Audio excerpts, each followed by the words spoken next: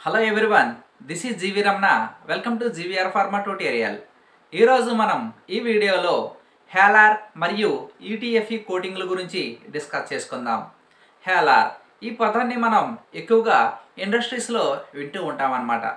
ఎటువంటి ఇండస్ట్రీస్లో అనేసి అంటే chemical industries chemical ఇండస్ట్రీస్లో pharmaceutical industries petrochemicals agrochemicals like ఇటువంటి ఇండస్ట్రీస్లో మనం ఎక్కువగా హేలార్ కోటింగ్ అనే పదాన్ని వింటూ ఉంటాము. నెక్స్ట్ అదేవిధంగా ఫుడ్ ప్రాసెసింగ్ ఇండస్ట్రీస్. కొన్ని ఫుడ్ ప్రాసెసింగ్ ఇండస్ట్రీస్లో నెక్స్ట్ అదేవిధంగా బేవరైజెస్. ఇటువంటి ఇండస్ట్రీస్లో ఈ హేలార్ హేలార్ అనేటటువంటి పదాన్ని ఎక్కువగా వింటూ ఉంటామన్నమాట. సో ఇంతకీ ఈ హేలార్ అంటే ఏంటి? సో దీనివల్ల యూజెస్ అసలు ఏంటి? ఎందుకు ఈ హేలార్ని ఎక్కువగా ఉపయోగిస్తారు? అనేటటువంటి విషయాన్ని ఒకసారి మనం డిస్కస్ చేసుకుందాం. ఓకేనండి. అయితే హేలార్. హేలార్ అంటే ఏంటి అసలు అనేసి అంటే హేలార్ అనేది ఒక బ్రాండ్ నేమ్ మాత్రమే. ఓకేనండి? అయితే హేలార్ అంటే అసలు ఇంతకీ దాని ఒరిజినల్ యొక్క పేరు ఏంటి అనేసి అంటే దాని ఒరిజినల్ పేరుని ఏ విధంగా చెప్తాము అనేసి అంటే ఈసీటీఎఫ్ఈ అని చెప్తారనమాట ఓకేనండి? ఈసీటీఎఫ్ఈ అనేసి అంటే ఏ విధంగా చెప్తాము అనేసి అంటే E C T F E ethylene chloro trifluoro ethylene. ఇది దీని యొక్క ఒరిజినల్ నేమ్. హేలార్ యొక్క ఒరిజినల్ నేమ్. ఏంటి అనేసి అంటే ఇథిలిన్ క్లోరో ట్రైఫ్లోరో ఇథిలిన్. ఓకేనండి. సో ఈ హేలార్ ఎక్కువగా మనం ఇండస్ట్రీస్లో చాలా రకాలైనటువంటి ఎక్విప్మెంట్స్లో చూస్తూ ఉంటామన్నమాట. ఇప్పుడు మన ఫార్మసిటికల్ ఇండస్ట్రీస్లో కానీ చూసినట్లయితే హేలార్ సెంట్రిఫ్యూజెస్ ఎక్కువగా. నెక్స్ట్ అదేవిధంగా Halar module filters. Next Halar ANFDs Halar RCVD. Next అదేవిధంగా ఇంకా హేలార్ నచ్ ఫిల్టర్స్. ఈ విధంగా చాలా రకాలైనటువంటి ఎక్విప్మెంట్స్ మనం వింటూ ఉంటాం అనమాట నెక్స్ట్ అదేవిధంగా ఎజిటేటర్స్. హేలార్ లైనింగ్ ఎజిటేటర్స్. నెక్స్ట్ అదేవిధంగా ప్రొపల్లర్స్. నెక్స్ట్ అదేవిధంగా tanks storage tanks. Next collection tanks. Next అదేవిధంగా వేపర్ కోలమ్స్. ఈ విధంగా number of items Halar Halar Halar అని వింటూ ఉంటాం అనమాట ఓకేనండి అయితే ఎందుకు దీన్ని ఎక్కువగా ఉపయోగిస్తూ ఉంటారు అనేటటువంటి విషయాన్ని చూసే ముందు ఒకసారి దీని యొక్క కెమికల్ స్ట్రక్చర్ని ఒకసారి మనం ఒకసారి చూద్దాం. ఇప్పుడు ethylene chloro trifluoro ethylene. So ethylene యొక్క ఫార్ములా ఏంటి అనేసి అంటే సి టూ హెచ్ ఫోర్ ఇది ఇథిలిన్ యొక్క ఫార్ములా. ఓకేనండి. సో ఫస్ట్ ఇప్పుడు దీన్ని మనం ఒకసారి చూద్దాం.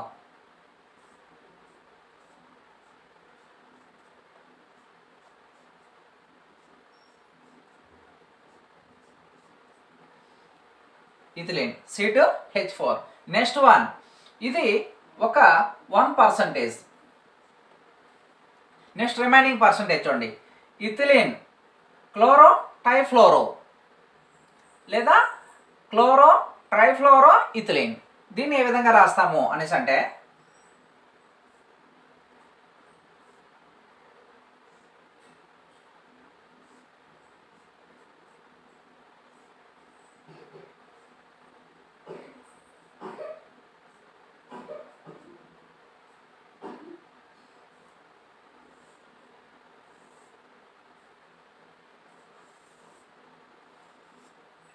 ఓకేనండి ఇది దీని యొక్క ఫార్ములా అనమాట చూడండి ఇప్పుడు సరిపోయిందండి. ఇథిలిన్ అనేసి అంటే C two H four okay C two H four next అదేవిధంగా క్లోరో సింగిల్ క్లోరో. ట్రైఫ్లోరో అంటే మూడు ఫ్లోరిన్స్ అనమాట ఇథిలీన్.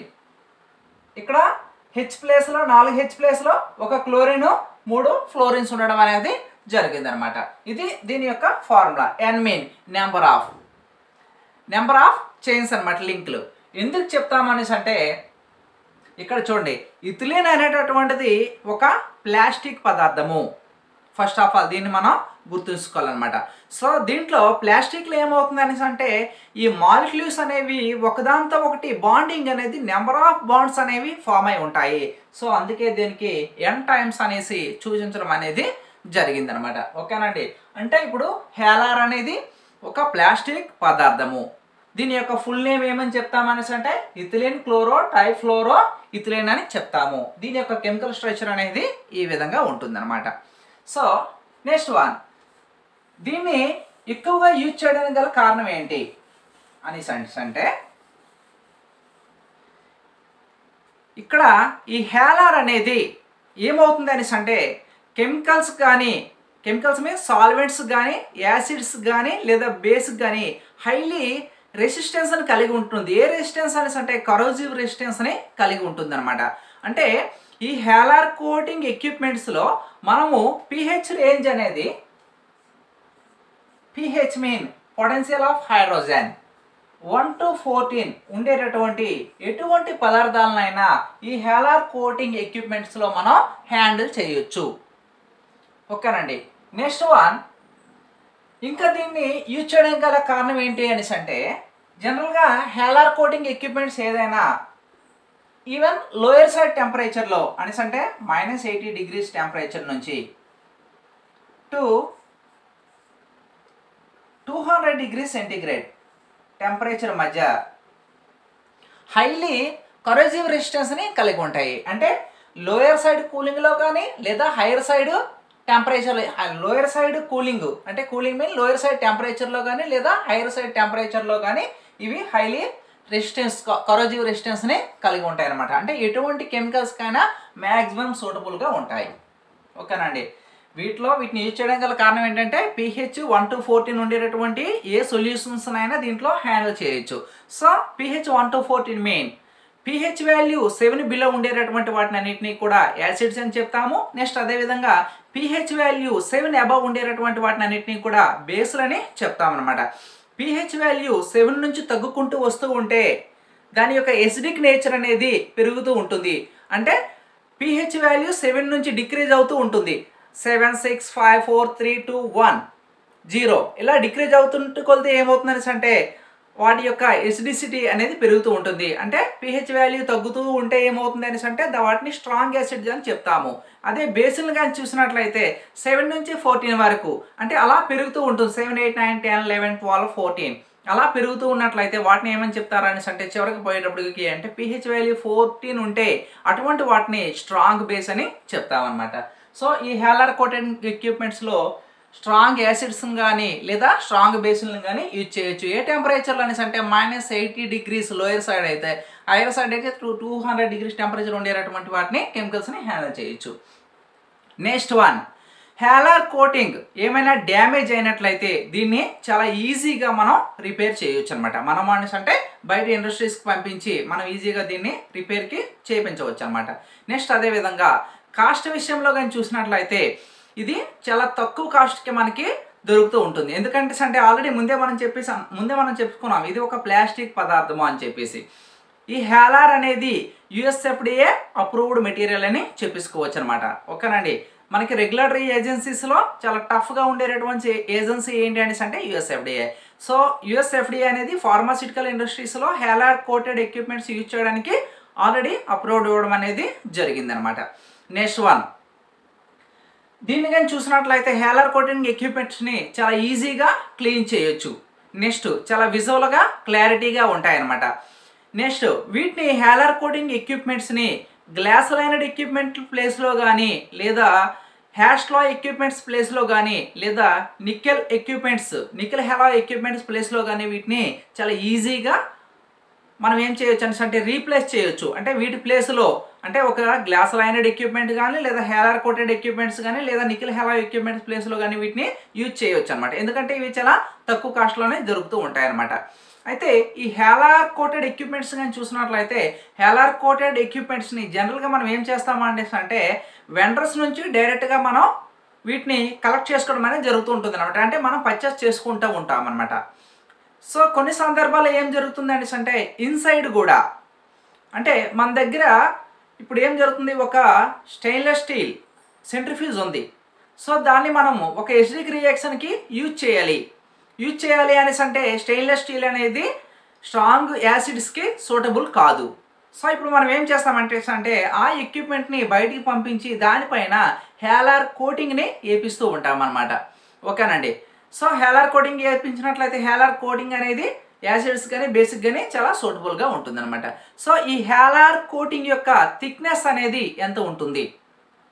జనరల్గా హేలార్ కోటింగ్ యొక్క థిక్నెస్ ఎంత ఉంటుంది అనేసి అంటే thirty micron to one point five mm. ఓకేనండి? ఇంత థిక్నెస్ ఉంటుందన్నమాట. ఇప్పుడు మనం ఏదైనా ఒక హేలార్ సెంట్రిఫ్యూజ్ అనేది ఒక వెండర్ నుంచి వచ్చింది. ఈ హేలార్ అనేది జనరల్గా ఏం జరుగుతుంది అనేసి అంటే ఎస్ఎస్ త్రీ నాట్ ఫోర్. లేదా SS three one six material పైన హేలార్ని కోటింగ్గా వేస్తారు. చూసుకోండి డైరెక్ట్గా ఇప్పుడు Halar coated centrifuge mean అర్థం ఏంటి అనేసి అంటే అది ఒక SS three nought four equipment అయినా అవ్వాలి లేదా SS three one six equipment అయినా అవ్వాలి. అయినట్లయితే దానిపైన ఏం చేస్తారు అనేసి అంటే హేలార్ కోటింగ్ నేయడం అనేది జరుగుతుంది. సో ఈ హేలార్ కోటింగ్ థిక్నెస్ ఎంత ఉంటుంది అనేసి అంటే థర్టీ మైక్రాన్ నుంచి to one point five mm. ఉండడం అనేది జరుగుతూ ఉంటుంది అనమాట నెక్స్ట్ వన్ ఒక ఎక్విప్మెంట్ హేలర్ కోటింగ్ ఎక్విప్మెంట్లో టెంపరేచర్ ఎంతవరకు మనం హ్యాండిల్ చేయొచ్చు అనేసి అంటే మైనస్ హండ్రెడ్ డిగ్రీస్ నుంచి నెక్స్ట్ అదేవిధంగా మై అదే వన్ ఎయిటీ డిగ్రీస్ టెంపరేచర్ వరకు హ్యాండిల్ చేయొచ్చు అనమాట ఓకేనండి నెక్స్ట్ వన్ ఇవి కోటింగ్స్ అనమాట ఇంకా లైనింగ్స్ కూడా ఉంటాయి. లైనింగ్స్ మీన్ ఇప్పుడు మనం పైపులు చూస్తూ ఉంటాం ట్యాంకులు చూస్తూ ఉంటాం అనమాట వీటిలో ఏమవుతుంది అనేసి అంటే లైనింగ్ ఏర్పడుతుంది. చూడండి థిక్నెస్కి లైనింగ్కి తేడా ఏంటి అనేసి అంటే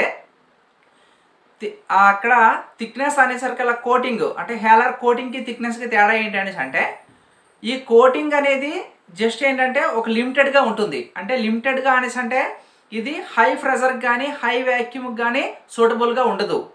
ఓకేనండి? దీని లేయర్ యొక్క థిక్నెస్ అనేది తక్కువ ఉంటుంది. అదే లైనింగ్ అనుకోండి హై వ్యాక్యూమ్కి హై ప్రెషర్కి ఎక్కువగా ఎఫెక్టివ్గా వర్క్ చేస్తూ ఉంటుంది. అంటే తట్టుకోగలుగుతూ ఉంటుంది అనమాట లైనింగ్ మీన్ కంటిన్యూషన్ అంటే ఒక పెద్ద పైప్ తీసుకున్నాం ఒక వేపర్ కాలం తీసుకున్నాం. ఒక వేపర్ కాలం కానీ తీసుకున్నట్లయితే వేపర్ కాలం ఏమవుతుంది అంటే పైనుంచి కింద వరకు ఖచ్చితంగా హేలర్ కోటింగ్ అనేది ఉంటుంది. సో దాన్ని లైనింగ్ దాన్ని లైనింగ్ అని చెప్తాము. ఓకేనండి. కోటింగ్ మెయిన్ స్మాల్ సైజ్ ఎక్విప్మెంట్స్కి లేయర్ థిక్ అంటే లేయర్ యొక్క థిక్నెస్ అనేది తక్కువగా ఉన్నట్లయితే వాటిని కోటింగ్ అని చెప్పుకోవడం అనేది జరుగుతూ ఉంటుంది. సో మనము ఒక హేలార్ కోటింగ్తో లైనింగ్ అని చేసినట్లయితే ఆ లైనింగ్ యొక్క థిక్నెస్ ఎంత ఉంటుంది అనేసి అన్నట్లయితే zero point eight mm to four mm మధ్య ఉండడం అనేది జరుగుతూ ఉంటుందన్నమాట. ఓకేనండి. దీనిలో టెంపరేచర్ రేంజ్ ఎంత ఉంటుంది అనేసి అంటే మనం లైనింగ్ అని వేసినట్లయితే మైనస్ ఫిఫ్టీ డిగ్రీస్ నుంచి వన్ ఎయిటీ డిగ్రీస్ మధ్య ఉండడం అనేది జరుగుతూ ఉంటుందన్నమాట. ఓకేనండి. అంటే ఇప్పుడు మనం ఇందాక ఏం చెప్పాము? హేలర్ యొక్క టెంపరేచర్ రేంజ్ అనేది minus eighty degrees to two hundred degrees ఉంటుంది అని చెప్పేసి అన్నామన్నమాట ఇదంతా కూడా నార్మల్ కండిషన్లో ఓకేనండి. నెక్స్ట్ వన్ దీని యొక్క మెల్టింగ్ పాయింట్ ఎంత అనే విషయం కనుక చూసినట్లయితే two sixty degree centigrade. Two sixty degree సెంటిగ్రేడ్లో ఏమవుతుంది అనేసి అంటే హేలార్ కోటింగ్ మెటీరియల్ అనేది మెల్ట్ అవ్వడం అనేది జరుగుతూ ఉంటుంది అనమాట ఓకేనండి? ఇది హేలార్ కోటింగ్ అనేది స్టేబుల్గా ఉండేటప్పుడు టెంపరేచర్ సో దానిపైన ఎక్విప్మెంట్స్ పైన వేసేటప్పుడు దాని యొక్క ఏమవుతుంది అంటే హీటింగ్ కూలింగ్ రెసిస్టెన్స్ అనేది కొంతవరకు ఎక్స్టెన్షన్ అవుతుంది. ఎక్స్టెన్షన్ అయ్యేటప్పుడు దాని యొక్క రేంజ్ ఎంత అనేసి అంటే మైనస్ హండ్రెడ్ డిగ్రీస్ నుంచి వన్ ఎయిటీ డిగ్రీస్ అని చెప్పించుకుంటాం అనమాట ఓకేనండి? నెక్స్ట్ వన్ ఒక ఎక్విప్మెంట్స్ పైన ఏదైనా ఒక ఎక్విప్మెంట్ పైన మనకి ఇప్పుడు ఏం జరిగింది అనేసి అంటే థిక్నెస్ కానీ లేదా కోటింగ్ కానీ అయి వచ్చింది. సో అయి వచ్చినటువంటి దాన్ని ఇప్పుడు ఏం చేస్తారనేసి అంటే జనరల్గా మనం ఇన్సైడ్ కానీ ఏదైనా ఎక్విప్మెంట్స్ పైన కానీ కోటింగ్ కానీ థిక్నెస్ కానీ వేయించాలనుకున్నట్లయితే అయితే లైనింగ్ కానీ థిక్నెస్ కానీ చేయించాలనేసి అంటే వెండర్కి పంపించినప్పుడు ఫస్ట్ ఏం చేస్తారు అనేసి అంటే ఇది జనరల్గా ఎడిషనల్ టాపిక్ అండి. ఫస్ట్ ఆఫ్ ఆల్ దాన్ని బ్లాస్ట్ కొలంలో పెట్టి శాండ్ బఫింగ్ చేస్తారు. శాండ్ బఫింగ్ చేసిన తర్వాత దానిపైన హేలార్ కోటింగ్ వేయడం అనేది జరుగుతూ ఉంటుంది. సో హేలార్ కోటింగ్ వేసిన తర్వాత దానికి ఎటువంటి టెస్టులు చేయాలి అనేసి అంటే దానికి థిక్నెస్ టెస్ట్ చేయాలి. అంటే హేలార్ కోటింగ్ అనేది ఎంత ఉంది? నెక్స్ట్ వన్ అదేవిధంగా దానికి కండక్టివిటీ టెస్ట్ చేయాలి. ఓకేనండి? కండక్టివిటీ అంటే దాని గుండా ఎర్తింగ్ అనేది పాస్ అవుతుందా లేదా? ఖచ్చితంగా మనకి స్టాటిక్ అనేది డిశ్చార్జ్ అవ్వాలి. సో డిశ్చార్జ్ అవ్వాలి అనేసి అంటే ఏమవ్వాలంటే హేలార్ కోటింగ్ మెటీరియల్ నుంచి ఖచ్చితంగా ఎలక్ట్రిసిటీ కానీ జనరేట్ అయినట్లయితే ఖచ్చితంగా పాస్ అవ్వాలి. సో కండక్టివిటీ చెక్ చేస్తారు. నెక్స్ట్ అదేవిధంగా హైడ్రో టెస్ట్. అంటే లైనింగ్ కానీ ఒకవేళ వేసారనుకోండి hydro test. Hydro test mean pressure apply చేసి చెక్ చేస్తారంట అంటే ఉబ్బిపోవడం కానీ లేదా బర్స్ట్ అయిపోవడం కానీ ఇటువంటిది ఏమైనా జరుగుతుందా అనే విషయాన్ని చెక్ చేస్తారు. సో ఇవి టెస్టింగ్ ఎక్విప్మెంట్స్ ఉంటాయి అంటే థిక్నెస్ టెస్ట్ చేస్తాము. నెక్స్ట్ అదేవిధంగా స్పార్క్ టెస్ట్ డీసీ స్పార్క్ టెస్ట్తో కండక్టివిటీ చెక్ చేస్తాము. నెక్స్ట్ అదేవిధంగా హైడ్రో పంప్తో దీని యొక్క హైడ్రో టెస్ట్ని పర్ఫామ్ చేయడం అనేది జరుగుతూ ఉంటుందన్నమాట. నెక్స్ట్ వన్ హేలర్ కోటెడ్ ఎక్విప్మెంట్స్కి ఎర్త్ రెసిస్టెన్స్ ఎయిట్ ఓమ్స్ ఉండాలి. అంటే ఎర్త్ రెసిస్టెన్స్ మీన్ దాని గుండా డిస్పాచ్ అయ్యేటటువంటి దానికి ఒక స్టాండర్డ్స్ ఉంటాయి అనమాట అంటే ఎంత ఎర్త్ రెసిస్టెన్స్ ఉండాలి. ఎందుకు మనం ఏం చేస్తాం జనరల్గా స్టెయిన్లెస్ స్టీల్ అయితే దానికి కంటిన్యూటీ ఎర్తింగ్ ఉంటుంది. కానీ దానిపైన ఒక కోటింగ్ చేస్తూ ఉన్నాం అనమాట ఆ కోటింగ్ యొక్క హెర్త్ రెసిస్టెన్స్ అనేది ఎయిట్ ఓమ్స్ ఉండాలి. సో దీన్ని నేను ఫర్దర్ క్లాసెస్లో ఇంకా డిస్కస్ చేసేటప్పుడు దానికోసం బ్రీఫ్గా చెప్తాను అనమాట ఓకేనండి? ఇది హెర్త్ రెసిస్టెన్స్ ఎయిట్ ఓమ్స్. ఇది ఏలార్ కోటింగ్ కోసం అనమాట ఏలార్ కోటింగ్ గురించి దాని యొక్క బ్రీఫ్ ఇన్ఫర్మేషన్. నెక్స్ట్ అదేవిధంగా next one ETFE ETFE mean దీని ఫుల్ ఫార్ములా ఏంటి అనేసి అంటే ఇథిలిన్ టెట్రాఫ్లోరో ఇథిలిన్. చూడండి. ETFE mean ethylene tetrafluoro ethylene అనమాట సో ఇప్పుడు మనకి ఏం జరుగుతుంది అనేసి అంటే హేలార్ కోటింగ్ ప్లేస్లో ఈటీఎఫ్ఈని ఎక్కువగా ప్రిఫర్ చేస్తున్నారు. ఓకేనండి? ఇప్పుడు రీసెంట్ టెక్నాలజీ ఈటీఎఫ్ఈ సో ఈటీఎఫ్ఈని ఎందుకు ప్రిఫర్ చేస్తున్నారండి హేలార్ కోటింగ్ అంటే అంటే ఈ ఈటీఎఫ్ఈ అనేది హేలార్ కోటింగ్ కంటే చాలా ఎక్కువ ఎఫెక్టివ్గా ఉంటుంది. అంటే దీని యొక్క కండక్టివిటీ రెసిస్టెన్స్ కానీ లేదా సైనింగ్ కానీ లేదా దీని యొక్క లైఫ్ కానీ ఏదైనా హేలార్తో కంపేర్ చేసుకుంటే ముందైతే మనం ఏవైతే ప్రాపర్టీస్ అన్నీ చెప్పామో ఆ ప్రాపర్టీస్ అన్నీ కూడా హేలార్ కోటింగ్ అంటే ఈటీఎఫ్ఈ కోటింగ్కి చాలా బాగా ఉంటాయి అన్నమాట సో ఇప్పుడు దీని యొక్క ఫార్ములాను ఒకసారి చూద్దాం. Ethylene tetrafluoro ethylene so ethylene యొక్క ఫార్ములా ఏమని చెప్పేసి అన్నాము? సి టూ హెచ్ ఫోర్ అని చెప్పి చెప్పేసుకున్నాము.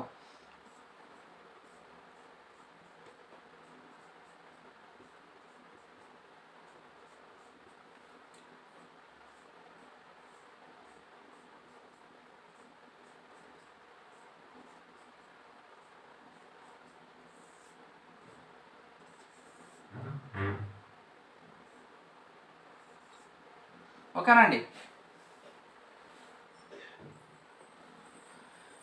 ఇది ఈటీఎఫ్ యొక్క ఫార్ములా అనమాట సేమ్ టు సేమ్ చూడండి. ఇక్కడ ఏముంటుంది? నిసానిస్ అంటే ఇక్కడ టెట్రాఫ్లోరా ఉంటాయి. అంటే నాలుగు ఫ్లోరిన్స్ ఉంటాయి. ఇక్కడ ఈటీఎఫ్ఈలో ఇక్కడ అదే విధంగా హేలార్లో కానీ చూసినట్లయితే ఒక క్లోరిన్ మూడు ఫ్లోరిన్లు ఉండడం అనేది జరుగుతూ ఉంటుంది అనమాట చూడండి.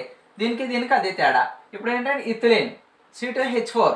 C two H four. Next అదేవిధంగా టెట్రాఫ్లోరో ఇథిలైన్.